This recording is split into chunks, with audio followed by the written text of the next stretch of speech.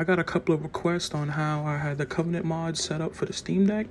First, you want to go to the mod page. You would have to download the main file and the optional file. And then you would need the EXE that puts you on an older version of Souls because the latest update has broke the, the mods.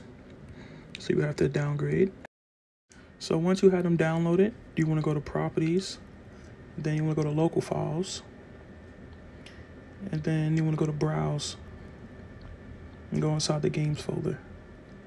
Then you want to take the, the exe first and copy that over into the folder like this.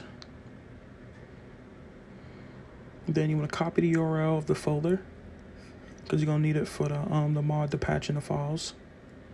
And you just launch it. You would paste it into here and then run full install.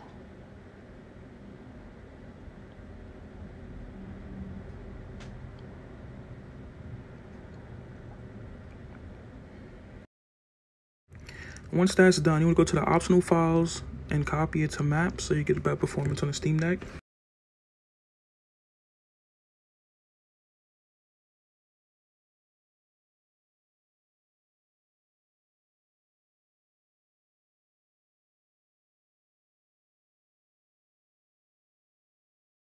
After that's done, you copy it to your external SSD or hard drive. On the Steam Deck, go to Manage, Properties, launch options and you paste the override here. And then you go to local files, well, stalled files, the same difference. And you would copy the game from the hard drive or SSD you copied it to and copy it here. And yes to all.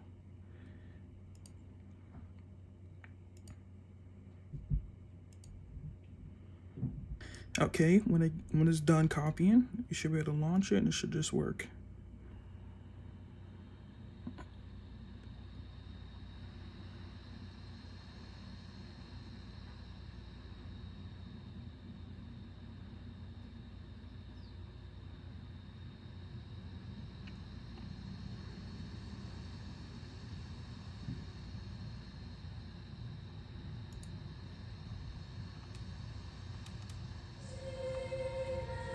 There you go. You got Dark Souls 3 The Convergence.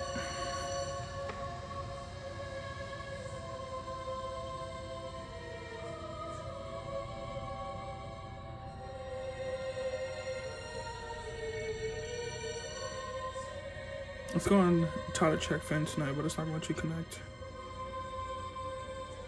You don't want to play online anyway, you might get flagged and banned.